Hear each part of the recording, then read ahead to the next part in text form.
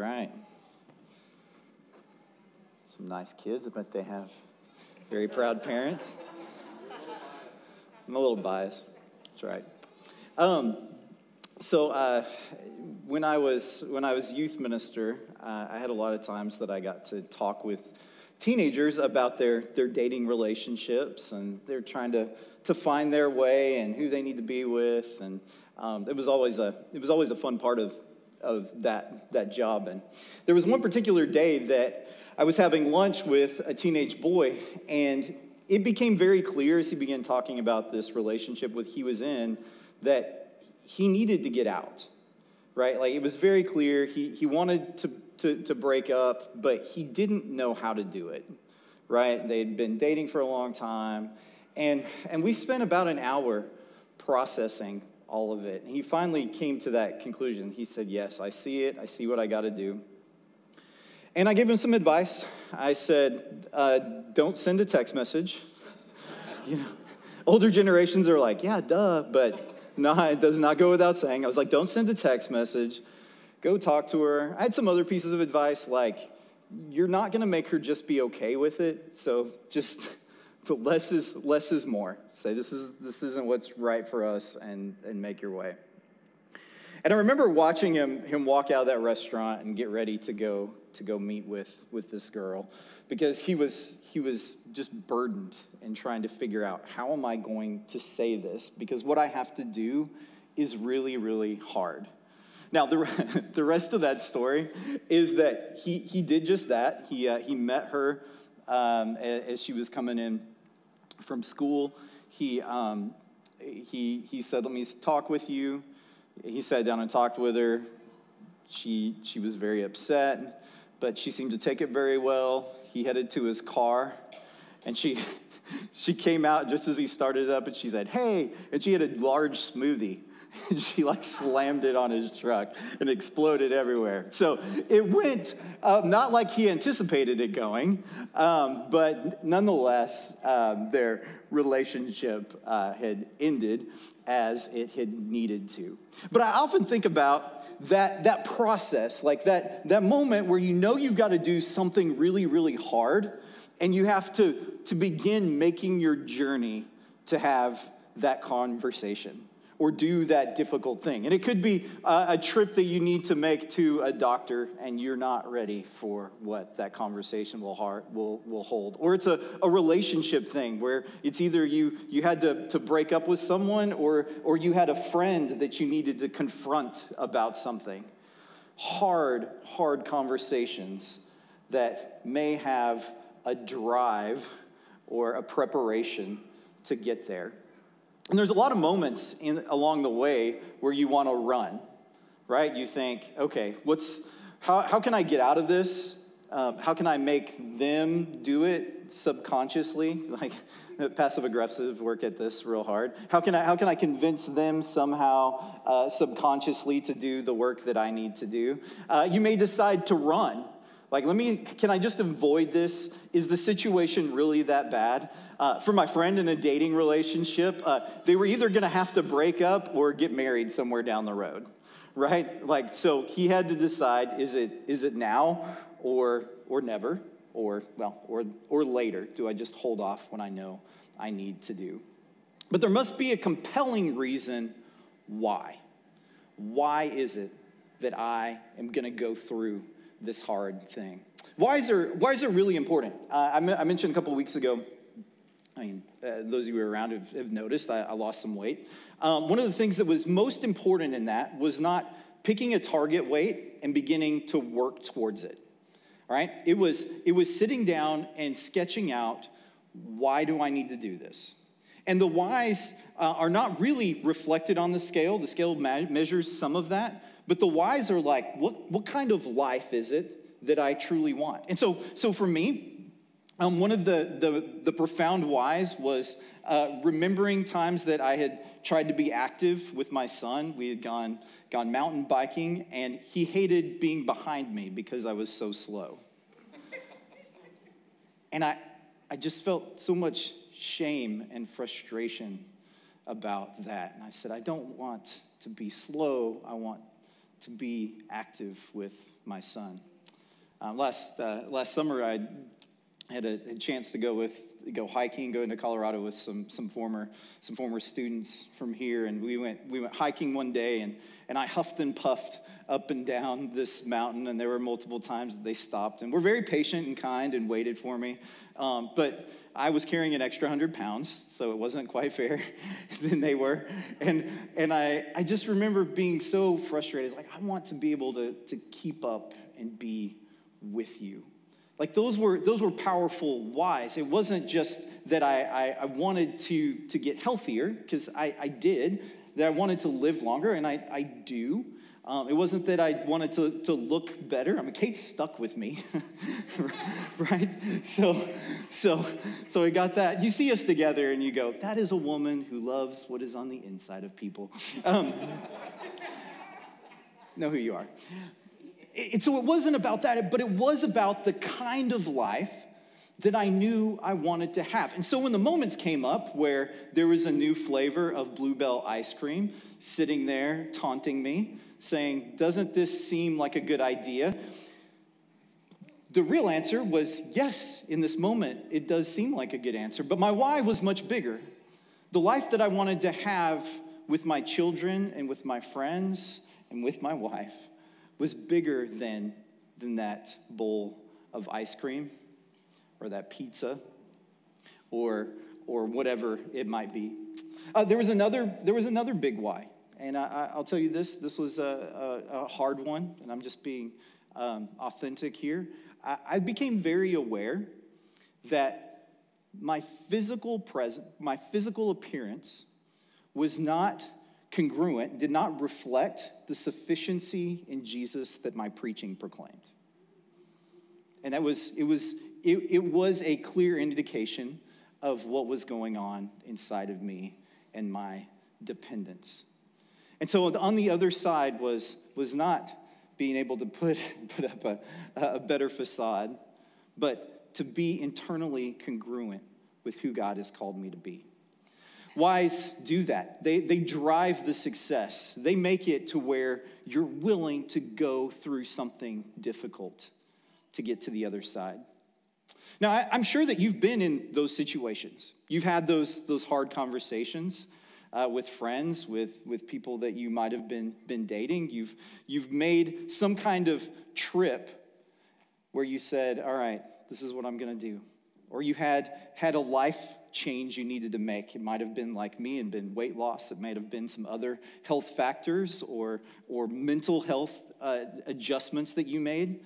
Um, they were hard things, but you made the choice to do it because on the other side was something way more important than the pain it would take to get there.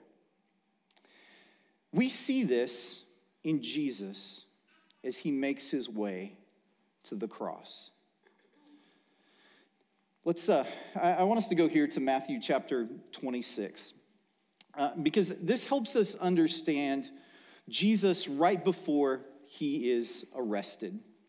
Uh, before, before he's arrested and then eventually crucified and tortured and beaten and humiliated, he has a time where he goes in the garden to pray. He's met with his friends, they've celebrated the Passover, and he goes into the garden of Gethsemane. And it says uh, here, it says, Then Jesus went with his disciples to a place called Gethsemane. And he said to them, Sit here while I go over there and pray. And he took Peter and the two sons of Zebedee along with him, and he began to, he began to be sorrowful and troubled. Then he said to them, My soul is overwhelmed with sorrow to the point of death.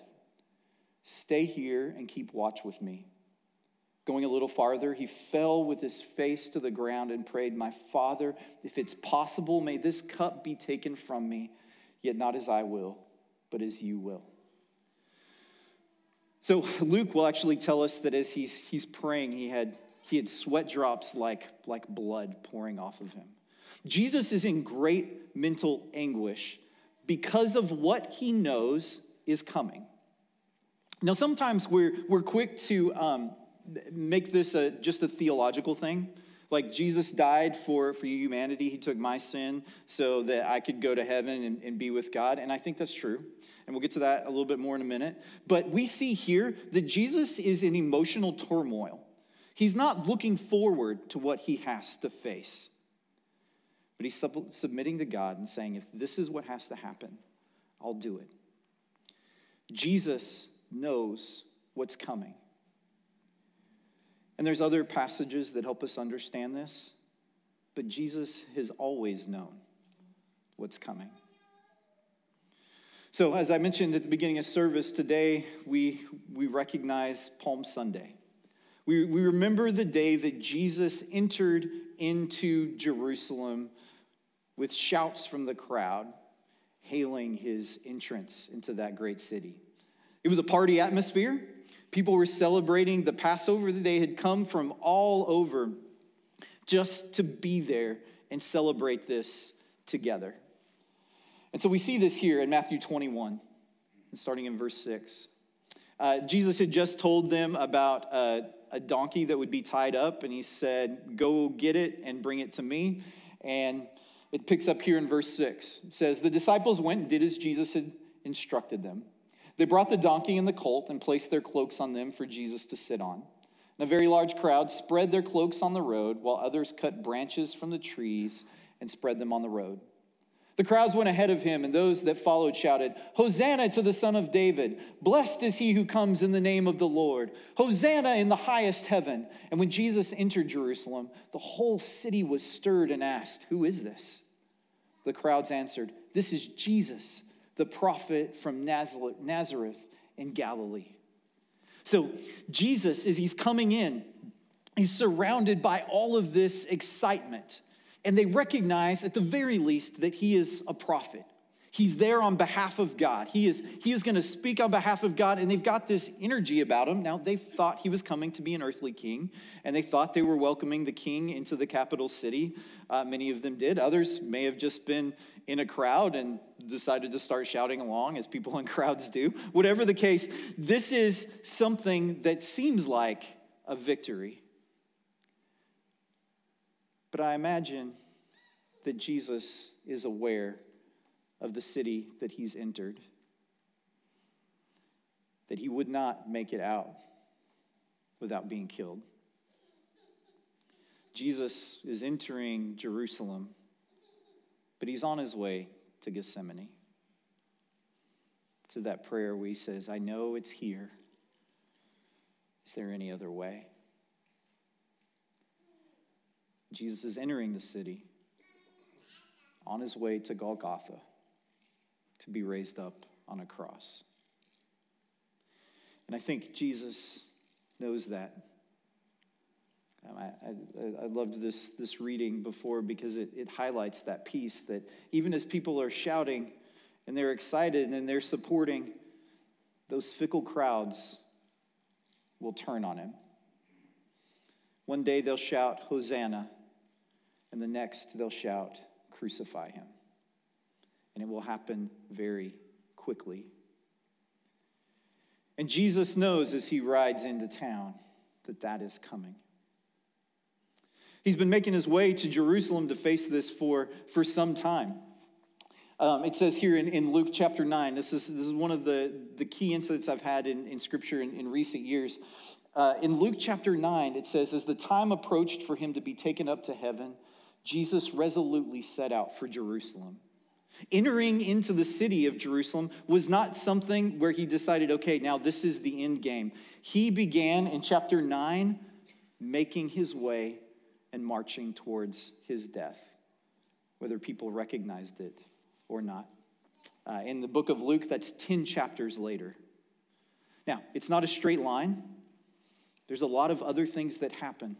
But in his entire ministry, Jesus is continuing to move forward as he makes his way to the cross. Even from birth, it's been headed this way. Why? What would move Jesus for his entire life to be moving towards something that was going to be so painful? This is a very long drive to a difficult conversation, right? This is, this is a very long travel to get to something painful that needs to be moved through. It's more than theology, right? It's more than just the, the understanding of Jesus needed to be the sacrificial atonement so that we can go to heaven. Jesus gets that, and he's gonna do that. He's, it's more than showing that he's gonna be a victory, uh, he's gonna be a victor over sin and death. It's true. He's gonna do that. But it's more he came to, to set a, a great example for us as his followers. But he's not trudging step by step just to be a good example. It's a lot more. This uh, scripture Hudson just read from Hebrews 12. It says, Fixing our eyes on Jesus, the pioneer and perfecter of our faith, for the joy set before him, he endured the cross. See, the other side of the cross, the other side of the pain that he was going to experience, was something that would bring him joy. It wasn't just, let's, let's balance the ledger sheet. Jesus was moved by great love for his people. It's not an obligation to blind obedience, it's something that Jesus knew would bring great joy to him. Now, scripture tells us this other places, but I, I love how Paul expresses how he understands Jesus' march to the cross. He says this He says, I've been crucified with Christ, and I no longer live, but Christ lives in me.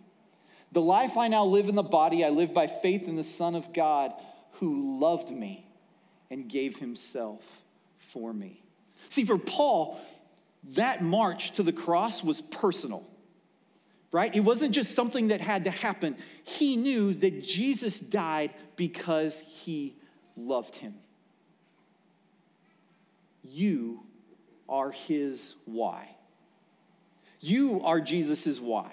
Paul knew, I am Jesus's why. The reason that Jesus marched to the cross, the reason that he continued that long journey to face unbearable pain was because he loved me. Jesus loves you. We give, we, we, we preach on Sunday mornings and we have Bible classes, but the most important theology and message that we teach is one that we give to our smallest children. And we teach them to sing, Jesus loves me. This I know. And I think most of us spend our lifetimes learning that message.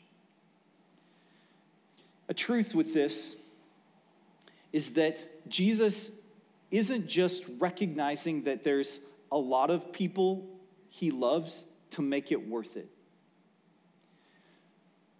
Jesus' death is for love for each person individually. You. You singularly were enough for Jesus to be willing to die. Jesus was willing to die because he loved you, not just because he loved his creation, but because he loved you. He gave him, loved me, and gave himself for me.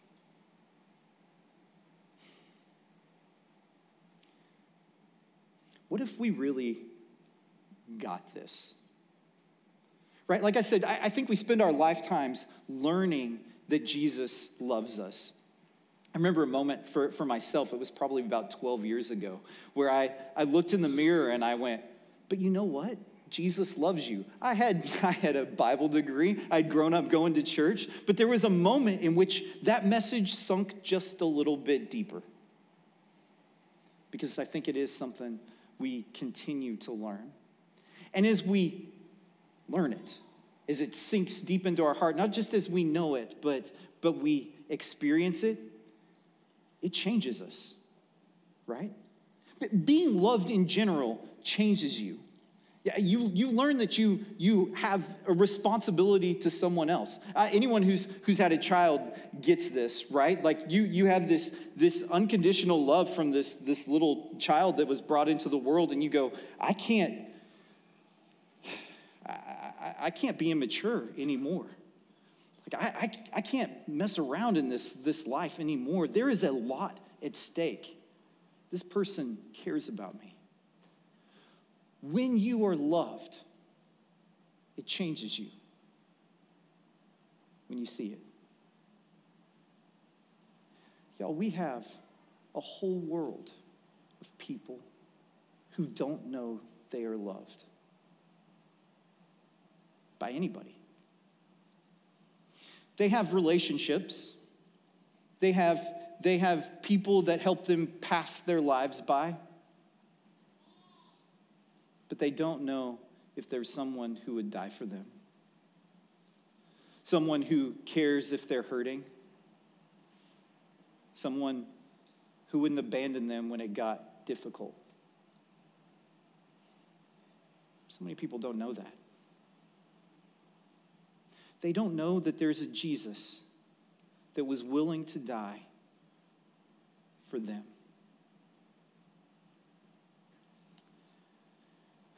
There are many fragile and broken people around us. Uh, something that's, that's been on my heart recently has been, has been men. Um, has been, been men in, in our church community and the community around us and the messages men get about who they're supposed to be. And I'm convicted about how fragile and broken men are and unable to share that. What if they embraced their calling in Jesus? A calling that is a gift through love from Jesus. How would our world be different? And that's not limited to men. How would our world be different if the, the women and the mothers around us embraced that their identity came from Jesus and it was poured into them as a gift of love? How would our world be different? How would our, our high schools be different if it was filled with teenagers who knew that they were loved? And as they began making decisions for what their life would look like, it flowed from who Jesus made them.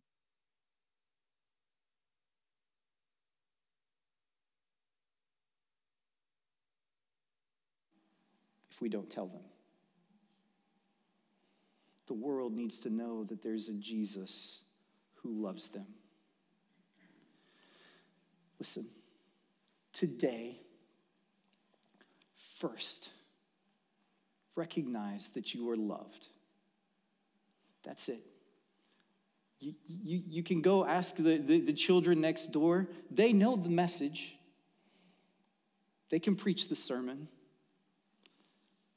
Let it sink in that you are loved by Jesus. And he went through all of that pain and all of that hurt because he cared about you. Know that you are loved. And know that that love is a great gift that is meant to be shared. Actually, when you get the first one, the second one is not that difficult. When you know that you're loved and that that love is available to anybody, you're ready to make sure other people see it. Let's pray. Jesus, uh, as we, as we talk about what you, you went through, that you intentionally moved towards the cross, and with each step, you knew what you would face, and you kept going. Because the other side was joy. The other side was, was hope. The other side was relationship with us. The other side was love. Jesus, thank you for that gift of love. I pray for this church and everyone in here that each of us will know that love, not, not with just our heads and our knowledge of your word and the teachings we've received, but we will know deep in our hearts that love. That love will consume every bit of us. And God, and as we interact with the world, may we be known as people who recognize that they are deeply loved by Jesus.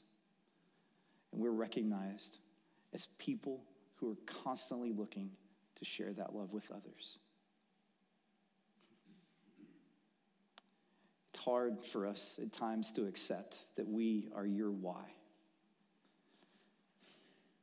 But God, Jesus, we thank you that we are.